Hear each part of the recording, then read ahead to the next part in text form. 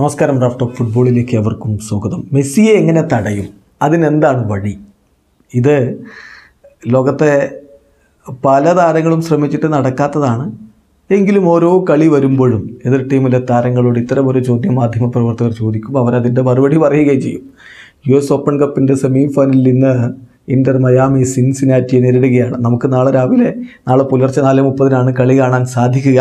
Inter മയാമിയുടെ Colombian താരം Santiago അരിയാസിനോട് മെസ്സിയെ എങ്ങനെ തടയും എന്താണ് പ്ലാൻ എന്ന് ചോദിക്കുന്നുണ്ട്. സാൻഡിയാഗോ അരിയാസ് യൂറോപ്പിൽ ഫുട്ബോൾ കളിച്ച ആളാണ്. അത്ലറ്റിക്കോ മാഡ്രിഡിൽ പി എസ് വി ഐന്തോവനിൽ ഗ്രാനഡയിൽ ബയർ ലവർ ക്യൂസണിലൊക്കെ കളിച്ചിട്ടുണ്ട്. അദ്ദേഹം മെസ്സിയെ എങ്ങനെ തടയും എന്നുള്ളതിന്റെ ഉത്തരം പറയുന്നത് എങ്ങനെയാണ് എങ്ങനെ അദ്ദേഹത്തെ തടയും എന്നുള്ളതിനെക്കുറിച്ച് എനിക്ക് വ്യക്തമായിട്ടൊരു ഉത്തരം പറയാനില്ല.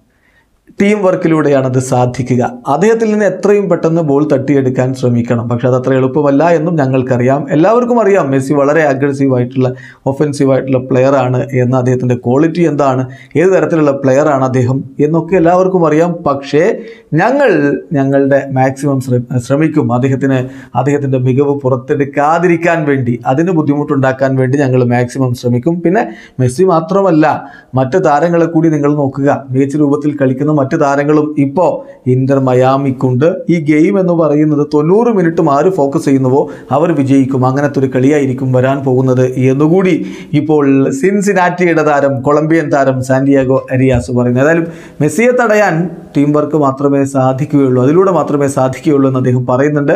അതിൽ വിജയിക്കാൻ സിൻസിനാറ്റിക്കാവുമോ? കാത്തിരുന്ന് കാണാം. വീഡിയോ അവസാനിക്കുന്നു. ഫുട്ബോൾ ലോകത്തെ കൂടുതൽ വിശേഷങ്ങളുമായി റഫ്ലക്സ് എടുത്താം